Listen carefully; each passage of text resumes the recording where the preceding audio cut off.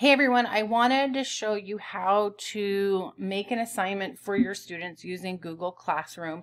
And if you already own my Push-In Language Lesson Plan guides, you can assign the Google slide presentations very easily for your students. And this can relieve some stress with planning lessons and knowing that your parents have something that is step by step with activities for them that is digital. So if your families do not have printers, but they do have internet from the district and maybe they're a Chromebook and they've been given access, they can still do activities. So here is what you would do. You're going to go to your classroom. You're going to go to classwork. You're going to create an assignment.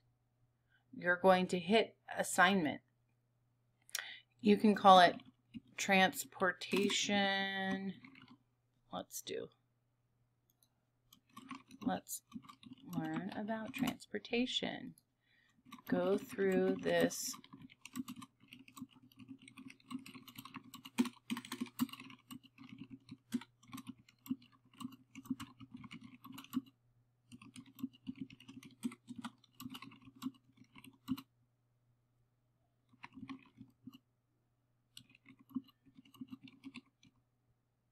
Okay, so you can put the title, instructions. Um, over here it's kind of cut off, but if you want, you can, you know, give points. You can put a due date. You can put a topic.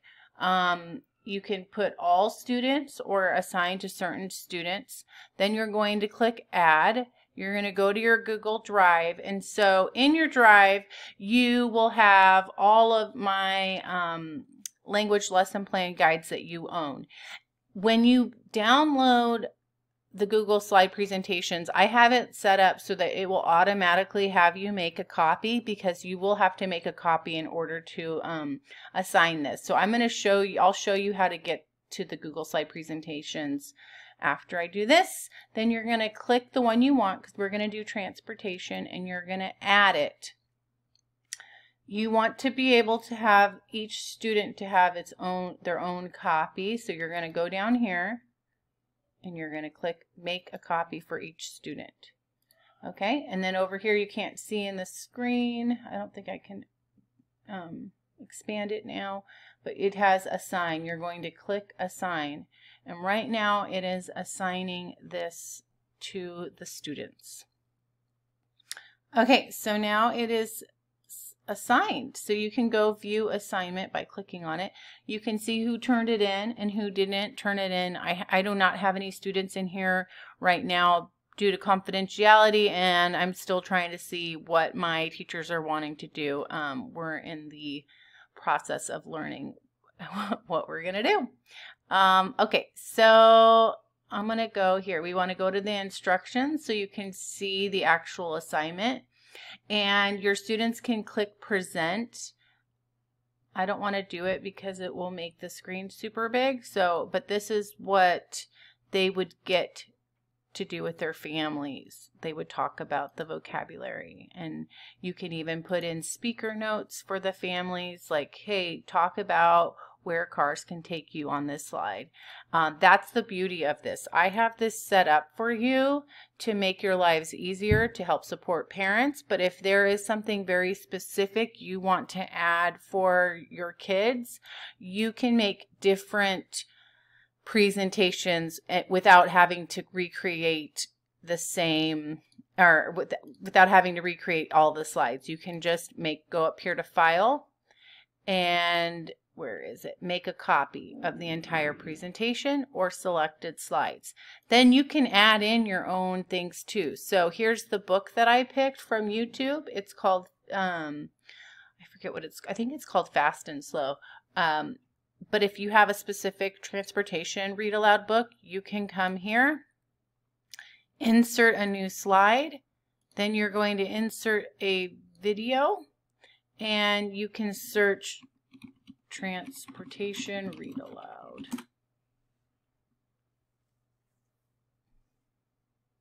And we'll just do my truck is stuck.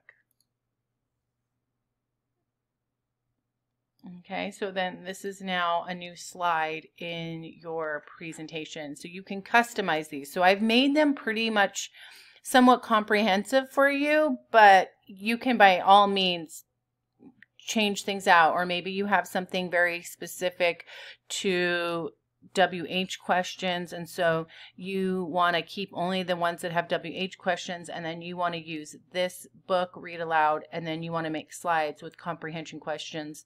You can do that. So this just helps give you a start. So let's say you want to try out some of my Google slide presentations and you want to see what it's like. I have a free one called um, it's a free chicken themed push in lesson plan guide for you. You're going to come to my website, thedabblingspeechie.com. You're going to type in chicken push in, and then you're going to click on using chickens in your next push in lesson. And all the activities on here are free. So this is all free. So you could even send these home with parents and assign it. This is in my store. It's behavior visuals, but it has everything. So you're going to click this pink button. You're going to put in your information and then you're going to go to your email and this is going to be directly emailed to you. Okay. So you will go to your email and it will be right here. Claim your download. You're going to click it and then let's see, I already have it in my um, drive. It's right here. So I'm going to show you where you would find that Google slide presentation. It's going to be right here. You're going to click this and it's going to prompt you to make your own copy for your own drive and that's going to allow you to upload this to your Google Classroom. So then once you have the copy, this is what it looks like. And this one is shorter because it's for my free resource. There's only about seven slides. So you can definitely add more if you want, but it has like, what do chickens have? What do you know about chickens? So there's prompts, and then you can have some prompts down here to help guide parents. There is an action um, brain break for chicken dance. There's also the chicken count, so let's count the chickens. There's pictures for a chicken lifestyle, lifestyle, life cycle. um, watch the chickens clucking so they get to see real action of chickens actually doing something. And then if, let's say we have a really fun book that we like to do, we're going to go to video chicken, read aloud, and we want to add that slide in. And we'll just do interrupt. I like big chickens. I usually I I uh, preview these to make sure I like how the person is reading the book. Um, and if I have never read the book before, I'll watch it to make sure I like it. Um, and then you're going to put it like this. And let's say you want to start um, having some you know comprehension questions, you can you know make answer choices by inserting a text box or images. You can get those from you know Google images. A lot of places I like to get images from is Pixabay.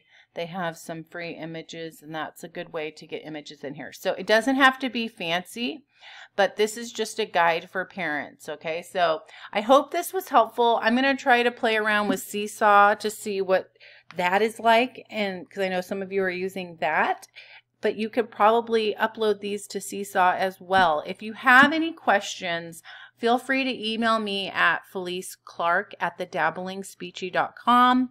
You can also reach out to me on social media. Feel free to share this with your teams and your speech pathologists that need a tutorial for how to assign these. And um, one thing that I think could be really helpful is Mm. working together as a speech department for like let's say you have a lot of kindergarten, first grade, mod severe classrooms, creating Google slide presentations that everybody does one presentation and then they all share it with each other so that you have weekly assignments already set up without you having to do that 40 hours of work or however many hours it takes to do it because we don't have the time right now. So if we break up the work, we can really support our students efficiently without losing our minds. Isn't that what it's all about?